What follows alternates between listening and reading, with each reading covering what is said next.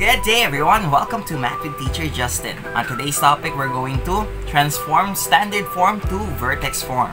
Alright. Okay, so let's talk about transforming standard form to vertex form. For a quadratic function, we have a standard form of f of x is equal to ax squared plus bx plus c.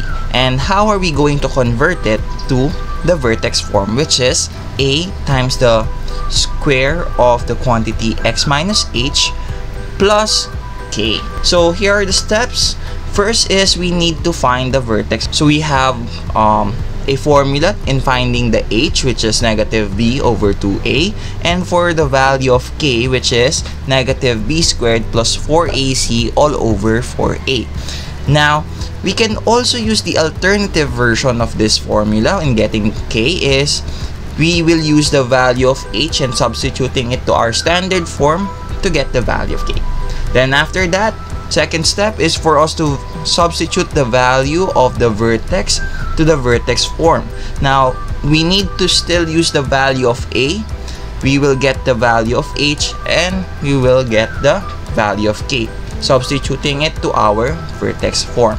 Now, here are some examples on how to convert standard form to vertex form. So, for example, we're going to rewrite this standard form to vertex form. First thing that we need to do is to get the vertex. In order for us to find the vertex, we must find the values of A, B, and C. So our A is 1, B is 6, and C is 8. Now, let's use the formula in, in getting the x-coordinate of our vertex. So we have negative B over 2A. So let's substitute the values of A and B in this formula. So we have negative 6 over 2 times 1. Negative 6 over 2 times 1. Then simplifying this, we will have negative 6 over 2 and our h will be equal to negative 3. Then from there, I will just substitute the value of h to my original equation to get our k. So, substituting negative 3 to all the variable x in our standard form, we will have negative 3 squared plus 6 times negative 3 plus 8. Simplifying, we will have 9 minus 18 plus 8. Combining like terms, we will have f of negative 3 is equal to negative 1. And that will also be our value of k. So k is equal to negative 1. So we can now proceed to getting our vertex which is negative 3, negative 1. So after getting the vertex, we will get the value of a, which is 1, and we will copy our vertex. We will use this in order for us to convert it to, to our vertex form. So let's substitute and then we will have 1 times the quantity of x minus negative 3 squared plus negative 1. Simplify, Negative times negative is positive and positive times negative is negative.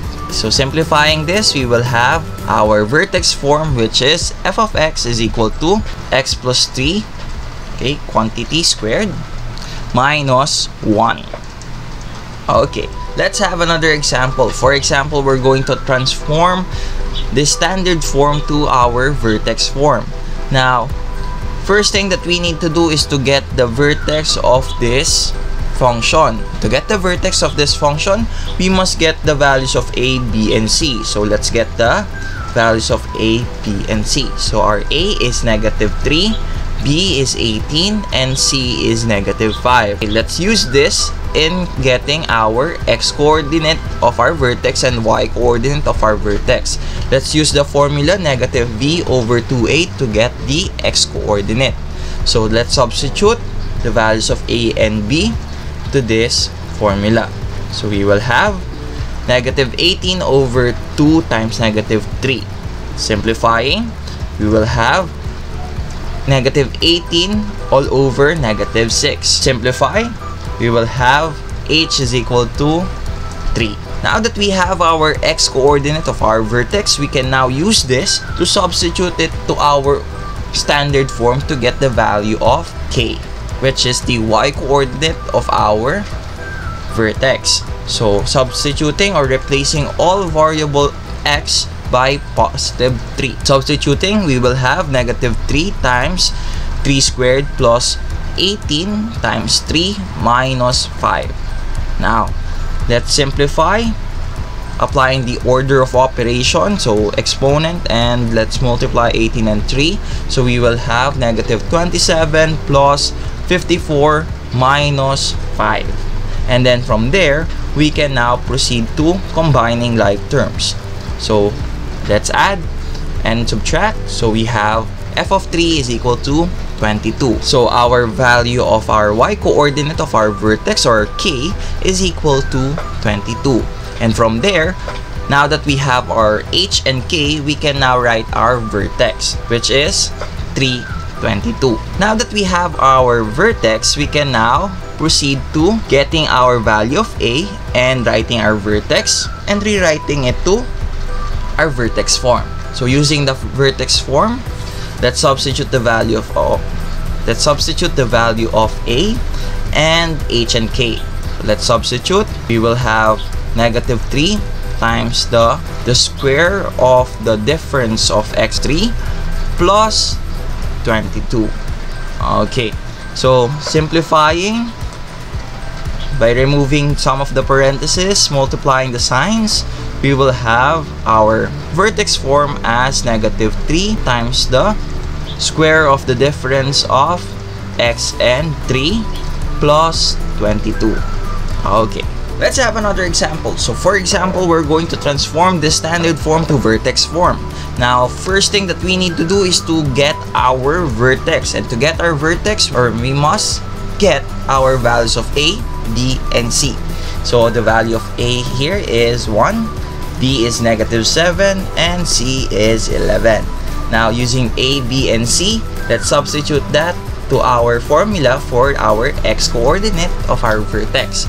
So it is negative b over 2a. So substitute, we will have negative negative 7 all over 2 times 1. So simplifying, we will have negative negative 7 over 2. And then simplify negative times negative will be positive. So our x coordinate will be 7 over 2. Since we got our x coordinate or our h, we can now solve for the value of k. So, let's use the formula negative b squared plus 4ac all over 4a. Now, let's substitute the values of a, b, and c in this formula to get our value for k. So, negative times the square of negative 7 plus 4 times 1 times 11 all over 4 times 1. And simplify, we will have negative 49 plus 44 all over 4. And from there, we can now combine the numerator. We will have k is equal to negative 5 over 4. Now, simplify if possible. If we cannot simplify, it will be our value for k. So, our k or our y coordinate is equal to negative 5 over 4. Therefore, we will have a vertex of 7 half and negative 5 over 4. Okay, now that we have our vertex, we can now use that in converting our standard form to vertex form. So we need to just copy our A and also our vertex and substitute that to our vertex form. So we will have this. Okay, so we will have 1 times the, the square of the difference of x and 7 over 2 plus negative 5 over 4. Simplifying this, we will have our final answer, the vertex form, the square of the difference of x and 7 over 2 minus 5 over 4. Let's have our last example for today. So for example, we're going to transform this standard form to vertex form. Now, in order for us to do that, we must get the vertex of this quadratic function. So first, we need to get the values of a, b, and c of our standard form. So our a is negative 5, our b is negative 8, and our c is positive 12. Using this given, we can now substitute this to our formula of our x coordinate of the vertex or for our h. So negative b over 2a. So let's substitute the values of a and b to this formula. Negative negative 8 over all over 2 times negative 5. Let's simplify. We will have negative negative 8 all over negative 10. Let's simplify. Negative times negative divided by negative will be negative. So 8 divided by 10, okay, we cannot divide them. So let's simplify. So our h is equal to negative 4 over 5. Now that we have our x-coordinate, it's time for us to solve for our y-coordinate of the vertex.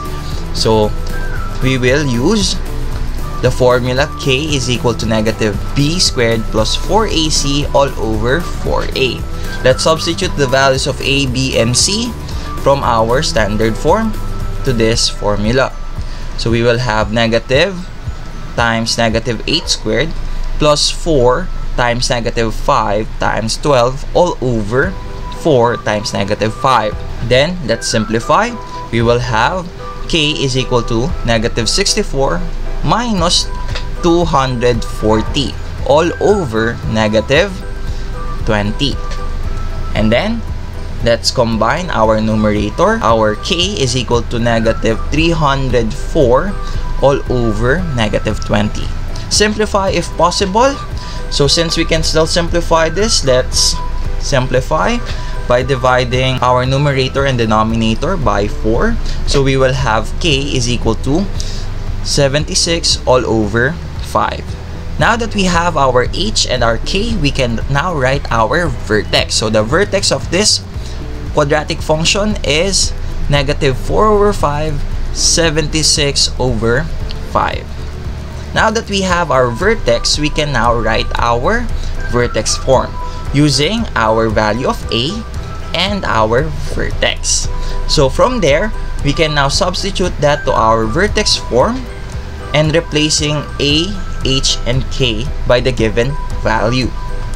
So we will have negative 5 times the square of the difference of x and negative 4 over 5 plus negative 76 over 5. Now, simplifying this, take note, negative times negative is positive and positive times negative is negative. So we will have our vertex form which is n of x is equal to negative 5 times the square of the sum of x and 4 over 5 minus 76 over 5. Alright, now that you already know how to transform standard form to vertex form, it is your turn to try it. Please click the link in the description box below in order for you to test your skills. That's it for today. Again, I'm Teacher Justin. Goodbye, God bless, and stay safe. See you on my next video. Peace.